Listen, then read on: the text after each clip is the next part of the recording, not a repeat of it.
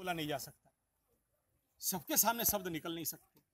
ये बात बोलने के लिए तुम्हारे से तीन दिन से इंतज़ार कर रहा था। मौका नहीं मिल रहा था। इसलिए बोला, चल, उनके साथ खड़ा हो। शायद गो भक्तों के सामने निकल जाए और निकला। सबको नहीं बोला जा सकता। उत्तम पात्र हो, तब शब्द निकलते हैं। समझ में आ रहा है? जिसे बोलते ना श्रोत्रिय ब्रह्मनिष्ठ हो। ऐसा गुरु बनाना। ठीक है? शिष्य कैसे? बोला, आर्त जिज्ञासुराथार्थी ज्ञानिश्च भरत वो ज्ञान के लिए उसके अंदर पिपासा होना चाहिए। और क्या? बोला, कि ज्ञान के लिए पिपासा, जिज्ञासु। ठीक है? अर्थार्थी, वो हो कि उसके अंदर वो ज्ञान का अर्थ के लिए वो मरे। फिर क्या बोला? महापुरुष संग उसके अंदर हो कि सत्संग का विचार हो कि कहीं मिल जाए ऐसे गो भगत।